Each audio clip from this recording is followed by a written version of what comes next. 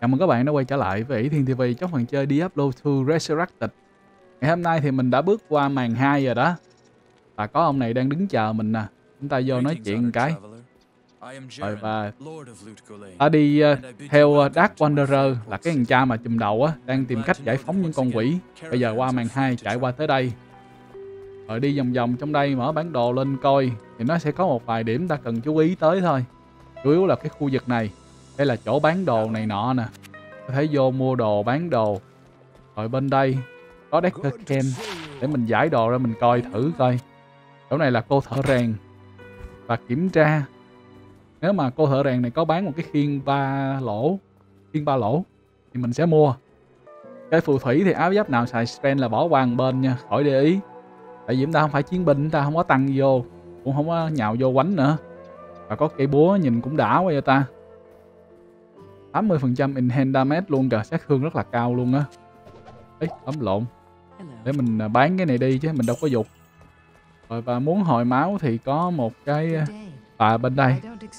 Nói chuyện cái hồi máu. Máu mình đầy rồi cho nên mình không có cần phải lo nữa. Và điều đầu tiên khi qua đây á là ta sẽ chạy lên trên này. Vô trong này. Và để ác 2 hay là ở màn 2 là một trong những cái người đệ mà tốt nhất game luôn á, thì mình thấy là ở đây là level cao nhất. Có được cái Defiant là cộng được defend nè. Mình sẽ cứng cáp hơn được miếng, không có bị thọt nữa. Rồi giờ chọn. Vô chổng. Có đồng ý không? Nhấp đúp vô thôi, đồng ý. Nhấp xong rồi thì ta chạy qua bên đây một cái nữa. Đây là cái waypoint ha. Còn à, có một ông nữa ở phía bên đây. Ông này là bán đồ để chúng ta có thể vô game bồ nè. Gamble là mình có thể mua đồ ngẫu nhiên á Bỏ tiền ra mua. Rồi chạy ngược về đây Ta đi kiếm một cái cây cho anh chàng đó. Anh chàng đó đâu có chơi tay không được Yếu lắm. Chúng ta sẽ kiếm một cái cây poam. Nó đây spear, spear không à? Poam, Cây này được nè. Strength 50 Thì à, để chắc chắn là cái strength nó vẫn cao hơn mình. Ta coi được strength 67 dexterity 49 nè. Đây là chiêu của à, cái người hỗ trợ chúng ta đó, follower á mà mình kêu là đệ. Giờ chọn vũ khí nào có sát thương tốt nhất thôi. Poison damage bên đây 3554 rồi giờ lấy cây này đi, không có đủ chỗ để cất đồ vô một cái, cất cây này lên. Ngọc thì chúng ta sẽ từ từ tính tiếp, cứ cất những viên này lên trước. Rồi mua một cây trang bị cho anh chàng này luôn. Nếu mà có áo giáp trang bị luôn càng tốt. Còn nếu mà chưa có áo giáp thì thôi khỏi không sao hết. Để ta mở nhiệm vụ lên coi. Và nhiệm vụ đầu tiên là sẽ tìm ra diamond ở trong uh, silver hay là ở trong cái cống của loot Golin. Thì mình phải chạy lên trên này. Cái cống là cái chỗ nằm đây nè. Mở cống ra vô trọng. Rồi và đi khám phá đi tìm cái đường xuống thôi. Ở đây là silver level 1 vậy là chắc có 3 tầng rồi đó. À, khoan khoan khoan khoan. Ơ uh -oh. có một cái rất là quan trọng mà quên luôn. Đi mà không có đem theo miếng bình máu với mana nào hết trơn á đó. Và đây là đường xuống có không? Không phải. Nhìn tưởng đường xuống nhưng mà đó là đường à đường đó là đường đi lên Lút Golin nó có một cái đường nữa ở ngoài à, bến cảng á. Và đây là đường xuống nè. Tầng 2 thì tầng 2 á, là theo như uh, ở trên cái uh, waypoint á, nó sẽ có. Đây là cái waypoint hay là cái uh, chỗ để chúng ta có thể dịch chuyển về. Rồi về mình bán đồ với mình mua thêm mấy cái bình máu mana một cái. Đây là đường xuống tầng 3 và bây giờ ta đi tìm chỗ cái con chùm Radamen Ồ con chùm đây rồi. Ui dạ nó bánh căng quá. Có ăn chùm nè. Mau chống xử lý mấy con khác. Rồi xong em ấy luôn. Lên level luôn. Và được một cuốn sách. Ok. Black shield. Cái khiên này khiên xanh. Chụp luôn. Khỏi cần. Rồi và xét đánh quá chừng luôn. Nhìn rất là đẹp luôn ha. Thanh tẩy khu vực bên dưới. Mở cái thùng lấy cái cuộn đó. Bây giờ ta mở cửa quay về. Hạ gục con chùm là được. Mở nhiệm vụ lên, nói chuyện với ác ma một cái. Rồi xong nhiệm vụ bên đây. Rồi nhiệm vụ này là nhiệm vụ mới. Giờ mình sẽ đưa cho ông Ken. Rồi, ông sẽ giải đồ cho mình một cái. Rồi ta cần phải đi tìm những cái món đồ kế tiếp rồi ba cuốn sách này từ từ. Cái này dục. Cái này dục luôn. Bán lấy tiền. Kiểm tra một cái. Ồ khiên ba lỗ luôn cả đồ này là đồ ba lỗ. Được á. Bảy. Khiên ba lỗ. Ok. Đem về cất. Lấy cất lên trước. Và cái áo đã xài được rồi nè. Level 18 xài được cái áo đổi cái áo lên. Áo này thì bán đi. Bye bye cái áo. Giờ ta sẽ mạnh hơn nhiều. Cộng một đống luôn. Xài mana đỡ tốn hơn. Và tất nhiên là lại quất vô tiếp. Tăng thêm máu. Level 17 chứ chưa được 18 nữa. Level 18 là có teleport có thể dịch chuyển được rồi. Còn cuốn sách còn lại á, là cuốn sách cho được một điểm skill.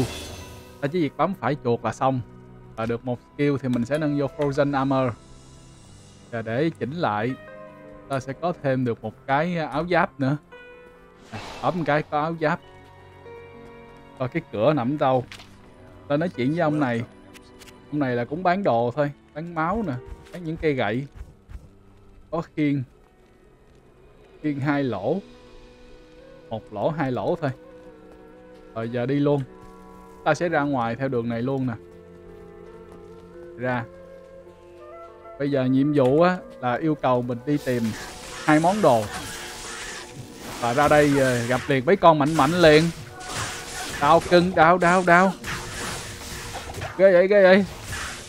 Hay là có nâng cái giáp rồi đó. À, nó lại nên enchanted hỏi sao nó không mạnh.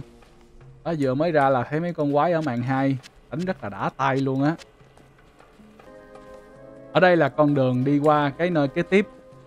Dry Hill. Rồi vừa qua là có đón tiếp nồng nhiệt luôn. Đến uống miếng nước cái quơ lên.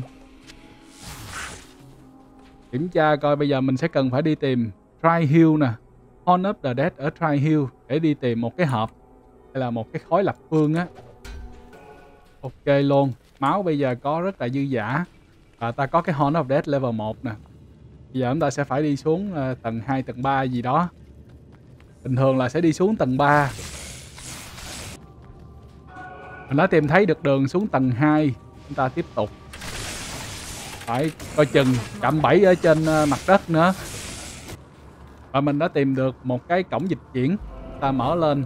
Thì Try Hill nó cũng có cái cổng dịch chuyển nữa. Nãy mình chưa có gặp. Giờ ta tìm được chỗ này rồi thì ta có thể quay lại được dễ dàng hơn. Bây giờ tìm đường đi xuống tầng kế tiếp. Cái đường xuống nó gần ghê luôn á mà nãy mình toàn là mình đi lên phía trên không à? Đi lên phía trên. Mà mình mở được cái cổng dịch chuyển. Bây giờ đây là tầng thứ ba. Ta đi xuống dưới luôn. Đây rồi, cái phòng đây rồi. Và có mấy con. Đóng băng. Ấy bấm lộn chiêu. Đóng băng vừa phải thôi. Đóng băng một lần là được. Không có cần đóng băng nhiều quá ha. Và mở lên đây coi. Có cái thùng. Đây là cái thùng. Ta có thể chứa đồ ở trong à, có đôi giày. Đôi giày này giờ defense 8 cái này không cần thiết. Không cần thiết luôn. Đem về bán là chủ yếu rồi. Ở màn 2 á, thì chúng ta không có đi theo con đường mòn nữa.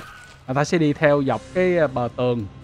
Cứ đi theo bờ tường là sẽ tìm ra được cái chỗ mà đi qua khu vực khác. Đây là cái waypoint nè. Mở lên.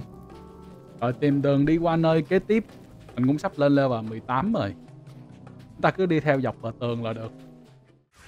Vô đây mấy đứa. Chặn đường hả? Chúng ta đang đi qua một khu vực mới nữa. Far Oasis. Và tới đây chúng ta sẽ cần phải tìm một món đồ. Mình đã lên level 18 và đây là một cái à, cột mốc rất là quan trọng đối với à, uh, Sorceress ha. Và để kiểm tra đồ một cái. Một lỗ. Wow. Một lỗ mà cộng Force Nova tùm lum hết kìa rồi tại sao lại nói là cái cột mốc quan trọng? Là tại vì ta sẽ có phép dịch chuyển teleport thật là sung sướng. Đỡ phải đi bộ. Teleport liền. Ta sẽ để phép dịch chuyển lên. Rồi và đi tìm cho nó nhanh. Nhưng mà những level đầu á thì chắc chắn là dịch chuyển không có được nhiều. Tại vì nó hao mana. Lúc nào cái vấn đề mana cũng là vấn đề nhức nhối thiệt. Rồi ông ta đi tele cái coi đó sướng chưa? Thấy không? Chỉ cần tele một cái là xong. Waypoint đây rồi. Mở lên. Thắp sáng. Vô cùng đơn giản luôn. Bây giờ tele tele. Hết mana. Mới có vài phát là hết mana. Nhưng mà được cái là đi rất là nhanh. Đây là cái chỗ chúng ta cần tìm ở ờ, pha oasis ha. Đây là ốc đảo ở xa. Và cái chỗ này là mỗi con đường vô cùng độc đáo nhỏ xíu siêu siêu luôn á và, và có những cái con ờ, uh, Magot nè. Chúng ta sẽ vô xử mấy cái con này. Còn nếu mà đã có tele được rồi đó thì cuộc đời tele là cái chắc rồi đó. Bây giờ mình đi tìm đường xuống. Wow wow. Căng thẳng vậy. Đi tìm đường xuống mà đụng ổ luôn. Lại một lần nữa cái đường xuống nó nằm ở sát bên luôn. Đi một vòng xong quay lại đây mới thấy. Đây là xuống tầng thứ hai đây là đường xuống tầng 3 tầng 3 là tầng cũng của con chùm. Đây rồi đây rồi. Đây là cái phòng của con trùm nè. Vô là chỉ có chơi thôi, không nói nhiều. Ôm mana lên và âm chiêu. Xong rồi đó. Nói chung con chùm này nó cũng không có quá khó đâu, tại vì nó cũng nằm ở một chỗ à. Và có được một cái nón vàng của dòng rui wow nhìn cũng ngon quá ta. Rồi cất lên thôi. Chúng ta mở cái thùng bên này ra lấy cây gậy top up king cất vô. Đây là một trong hai món cần thiết.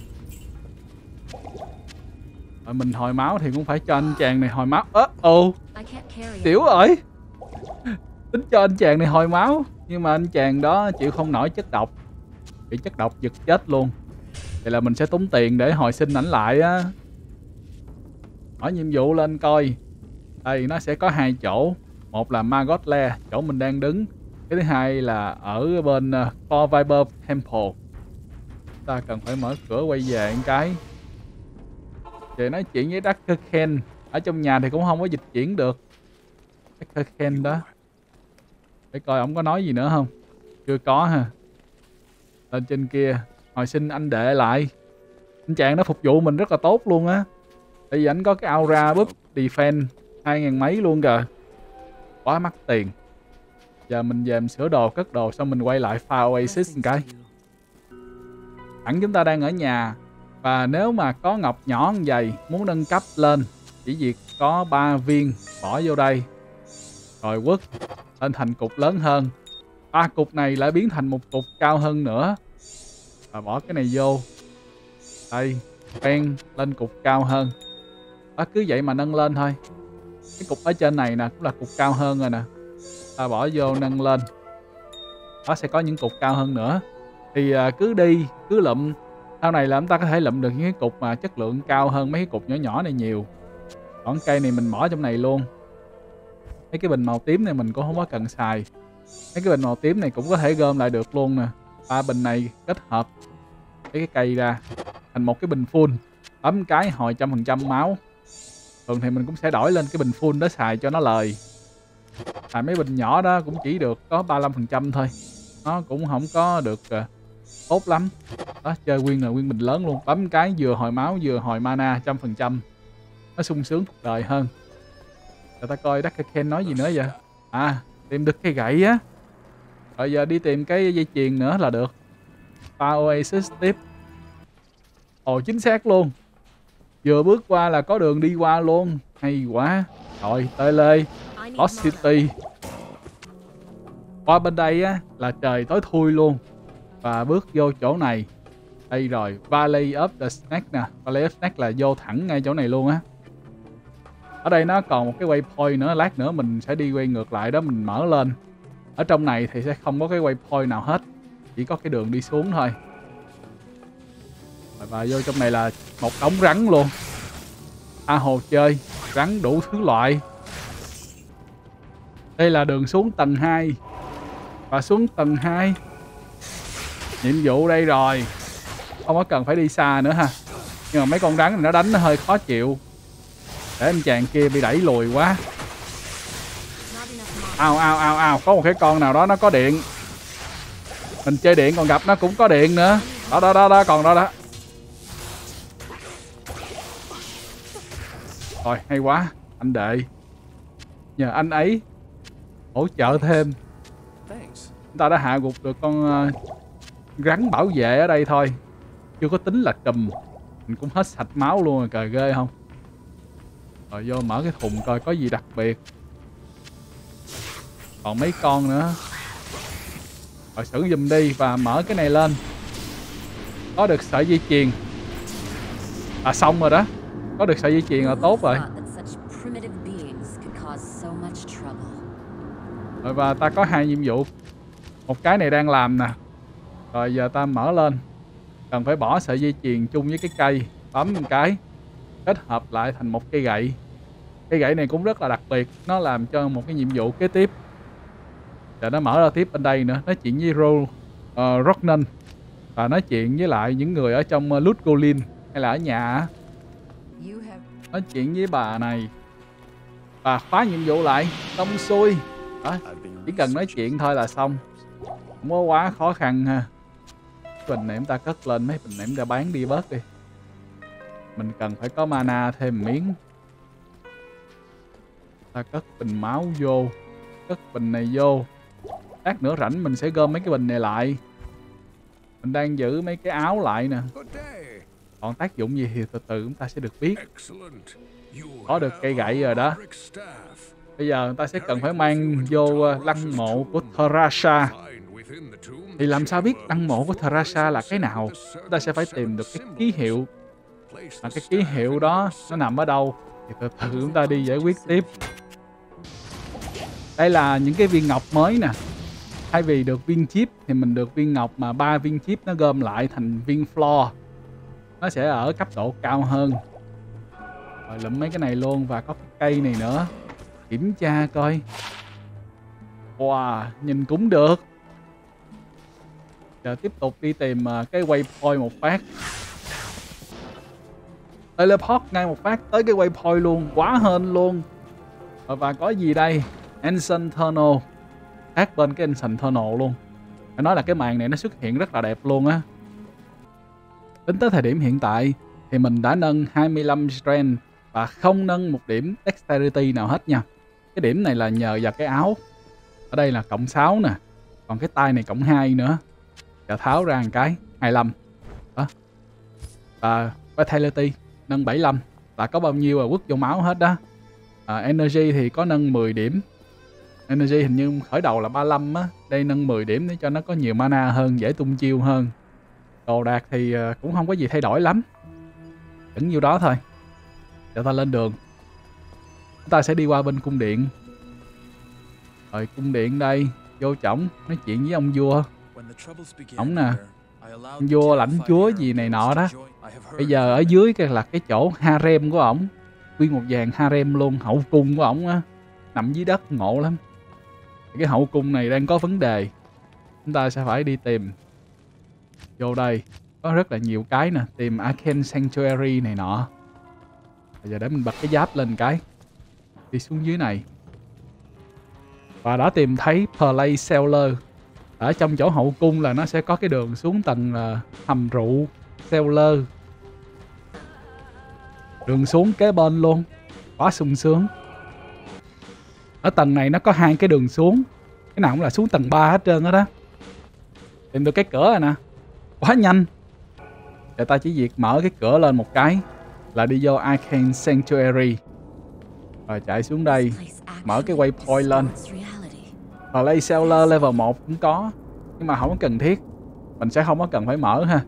Mà muốn quay lại mở cũng được cho nó trọn vẹn luôn thì cũng không sao. Ở đây là cái tầng 1 của cái play seller nè. Quạt lên cái xong quay ngược lại Arcane Sanctuary ta kiểm tra nhiệm vụ một cái. Khi vô trong đây. Giờ nó sẽ nói gì đây? Horizon Journal. Đi tìm món này, nó sẽ có bốn đường. Cái này à, là ngẫu nhiên. Chúng ta cứ chọn một đường đi. Đi rồi sẽ biết nó dẫn mình đi tới đâu. Hên ghê luôn. Cái đường đầu tiên mình chọn là đúng chỗ luôn nha. Hên ghê luôn á. Đó, giờ hạ gục. Xong rồi. Xử lý. Tới gặp là cứ xử lý. Ở đó nó có con trùm á nó đứng nó trưởng nhưng mà mình lên trưởng nó chết luôn rồi. Rồi nói chuyện cái mở cái cửa. Đi qua thung lũng. Canyon of the Magi. Đây là cái chỗ mà có mấy cái lăng mộ nè. À, nhiệm vụ này sẽ hoàn thành. À, nhiệm vụ này cần phải quay về thành để biết thêm thông tin. Và đây là cái ký hiệu lăng mộ của Tarasha chúng ta quay về nhà ăn cái, cho nó hoàn thành nhiệm vụ luôn. Cho nói chuyện với những người dân ở đây là được. Nó nói chuyện cái là biết, hoàn thành nhiệm vụ. Nhiệm vụ ở trên này thì chúng ta hoàn thành tới đây mới hoàn thành lên trên được. Mình đã lên level 20 từ đây thì mình sẽ bắt đầu nâng thêm strength để mình xài đồ. Chúng ta sẽ có một cái khiên nữa. Cho nên bắt đầu nâng từ từ là vừa. Mấy cái khiên này nè. Strength 47 luôn nên bây giờ nâng. Còn à, điểm điểm thì bữa giờ cũng chỉ nâng mấy cái này một điểm thôi là đủ, không có cần nâng nhiều. Rồi à, những level đầu thì nhân vô trong đây. Giờ kéo xuống đây. Fire spell thì chỉ nâng mỗi một cái wam để nó hỗ trợ hồi mana thôi. Rồi phần còn lại cứ quất vô. Nova. Cái này là 21 mana sát thương cũng tốt. Đây rồi. Lăng mộ đây rồi. Vòng tròn, vô đây bây giờ cách đơn giản nhất tê lê. Đi tìm cái phòng. Khỏi cần quánh. Nếu ai muốn quánh thì quánh cũng được. Còn mình tê lê luôn cũng không sao hết á. Wow, đó đó đó đó. Nhưng mà quánh thì nhớ cẩn thận nha, có mấy cái con đó đó. Tới cái phòng rồi đó. Nhưng mà vô đây hơi bị đông. Xử lý hết mấy con này một cái. Xong xuôi. Giờ lụm bình máu lên. Chúng ta sẽ cần phải đi về nhà một phát đi về nhà để mua thêm mấy cái bình kháng băng. Với lại kháng độc luôn cũng được nữa. À, không cần kháng độc chứ quên kháng băng thôi. Chỉ cần bình kháng băng. Rồi mình sẽ mua vài bình ở đây. Anh chàng kia đâu? Cho anh ấy. Nè uống vô em ơi. Uống vô. Này là sẽ lên được cái điểm kháng băng á. Điểm kháng băng của mình có 6% mà. Uống vô uống vô nó không có tăng lên ờ, hơn được. Nó chỉ tới 56 thôi, nhưng mà nó sẽ kéo dài cái thời gian ra. Rồi, chuẩn bị tinh thần nha. Chúng ta sẽ vô quánh chùm vòng 2 gắn cái cây đó vô đây. Cây ở đâu rồi? Chưa lấy ra nữa. Gắn vô. Mở lên. Bỏ vô. Đồng ý. Và có một cái rất là quan trọng là cái bình máu màu tím đâu rồi, bình máu màu tím. Chúng ta nên có những cái bình máu màu tím. Để lỡ có chuyện gì là bấm liền. Ít nhất là mình cũng phải hồi được nhanh. Cái bình bự thì cũng không cần thiết lắm. Nhưng mà bình nhỏ là phải có. Rồi, cắm cái cây vô. Dạ ai ai? Ai nhiều chuyện? Ủa, cây đâu? À mở rồi. Quên, cắm cái cây vô rồi, mở rồi à, đi về cái quên không thấy điện giật ầm ầm đây rồi. Thôi lỡ rồi nha lỡ rồi. Thì vô. Rồi vô quất quất quất. Rồi xong. Chuẩn bị quá chừng luôn. Rồi anh chàng đệ của mình chúng ta chuẩn bị quá chừng luôn. Vô quơ có mấy cái chùm nó xỉu rồi. Hài ghê không? Rồi có được mấy cây này nè. Wow đồ ethero luôn kìa. Ethero là đồ ngon hơn luôn rồi đó. Để lấy lên coi coi được gì đây? Giải liền.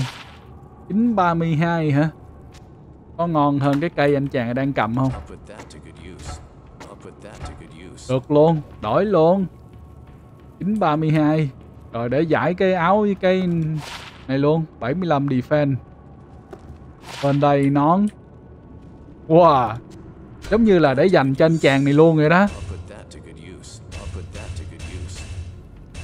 Rất là nguyên bộ. Cho đệ không à. Mình không có miếng nào hết trơn hết á bây giờ tay vô đây. Nói chuyện với Tyriel xong rồi đó. Rồi và ta bước vô đây một cái. Quay về nhà. rồi và Diablo với Bell đã thoát rồi. Lần kế tiếp là sẽ phải uh, ta sẽ báo thù và nói chuyện với Zerin một cái. Xong xuôi.